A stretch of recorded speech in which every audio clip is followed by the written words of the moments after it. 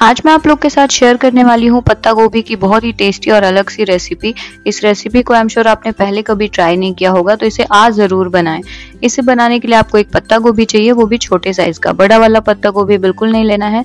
जब भी आप पत्ता गोभी लेने जाएँ तो छांट करके छोटा वाला ही लें।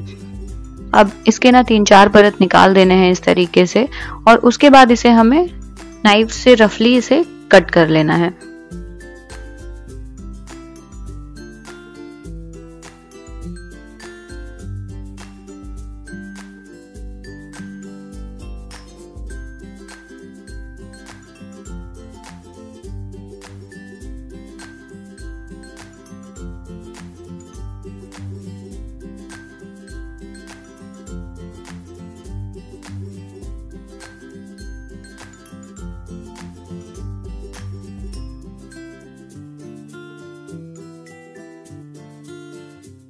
इसे इस तरीके से कट करना है क्योंकि हमें इसे एकदम बारीक चॉप करना है। अब चॉप करने के लिए आप या तो नाइफ से इसे एकदम बारीक चॉप कर लें या फिर आपके पास चॉपर हो तो आप उससे भी यूज़ कर सकते हैं क्योंकि उससे ना बहुत ही आसानी से चॉप हो जाता है, हाथ भी दर्द नहीं होता है और काम आसानी से हो जाता है। तो इसे ना मैं इस तरीके से रफली काटने के बाद इसे चॉपर से चॉप करने वाली हूँ। तो चॉप करके हमें इसे रख लेना है।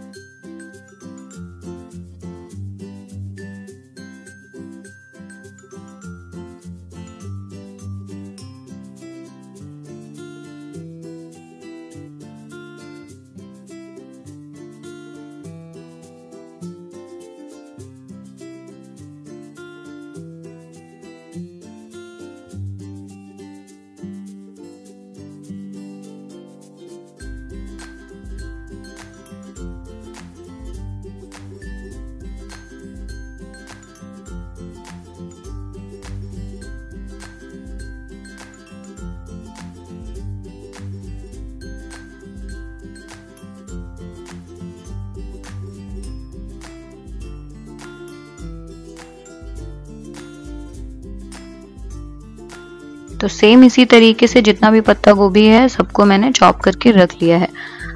अब ये देखिए, ये एकदम बारीक है और आपको भी इस तरीके से बारीक ही चॉप करना है। अब इसको साइड में रख देंगे और कढ़ाई रख देंगे गैस पर, जिससे कढ़ाई जो है वो हमारी गर्म हो जाए। जैसे ये हल्की सी कढ़ाई गर्म हो, उसमें तीन से चार चम्मच घी डाल देंगे।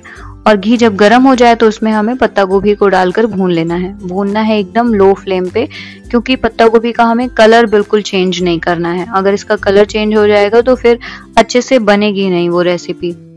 तो इसे लो फ्लेम पे लगातार चलाते हुए भून लें, क्योंकि जब तक पत्ता गोभी ठंडा है, तब तक ये ये जलेगा नहीं, लेकिन जैसे ही कढ़ाई गर्म हो जाएगी और पत्ता गोभी गर्म हो जाएगा तो ये जलने लगेगा, इसलिए इसे लगातार चलाते हुए भून लें। तो ये देखिए, पाँच से छः मिनट मैंने इसे भूना है, और इसका ना कलर हल्का सा चेंज हो गया है। भूनना क्यों है? जिससे जो पत्ता गोभी की स्मेल होती है ना, वो निकल जाए। बस इसलिए हमें इसे भूनना है, और इसका कच्चापन भी हल्का सा खत्म हो जाए। तो ये मैंने इसे भून लिया है। अब इसमें हम ऐड करेंगे मिल्क तो मिल्क मैंने यहाँ पे आधा लीटर से एक लीटर का दूध यूज़ किया है। इसमें दूध यूज़ करेंगे, गैस का फ्लेम एकदम लो करके, जिससे दूध ऊपर आपके ना पड़े। अगर कढ़ाई गर्म है तो ऊपर पड़ सकता है और उससे आप जल सकते हैं। इसलिए कढ़ाई एकदम गैस का फ्लेम लो करके कढ़ाई में दूध को डालना है। थोड़ा थोड़ा करके दूध इसमें ऐड करेंगे। बस इस तरीके से डालकर इसे हमें बॉयल कर लेना है।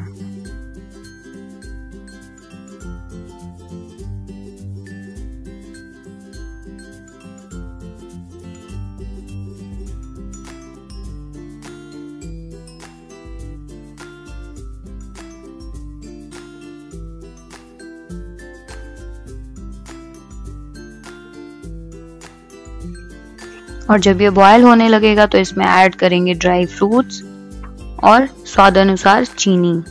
तो पहले इसे हमें बॉयल करना है और इसे दूध जो है इसमें उसकी क्वांटिटी भी कम करनी है। तो ये अब ये बॉयल होने लगा है, इसमें थोड़े से एक से दो इलायची के दाने डाल देंगे। ड्राई फ्रूट ऐड करेंगे, आपके पास जो भी ड्राई फ्रूट अवेलेबल हो, आप वो सारे यूज़ कर सकते हैं। ज़रूरी नहीं है कि ये कुछ खास ड्राई फ्रूट्स हैं, उन्हीं को आपको यूज़ करना है।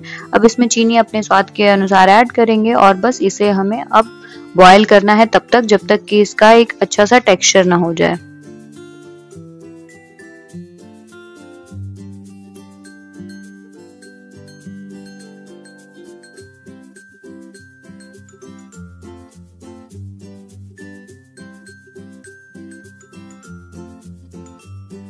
अब इसे मीडियम टू हाई फ्लेम पे इसे बॉयल कर लेना है पाँच से सात मिनट के लिए और उसके बाद इसकी क्वांटिटी काफ़ी रिड्यूस हो जाएगी। तो ये देखिए, इसकी क्वांटिटी जो है वो ऑलरेडी काफ़ी रिड्यूस हो चुकी है बट इसे अभी हमें थोड़ा सा और बॉयल करना है, जिससे क्वांटिटी इसकी काफ़ी थोड़ी बहुत और रिड्यूस हो जाए और ये ना टेस्ट इसका उससे बहुत ही अच्छा आता है।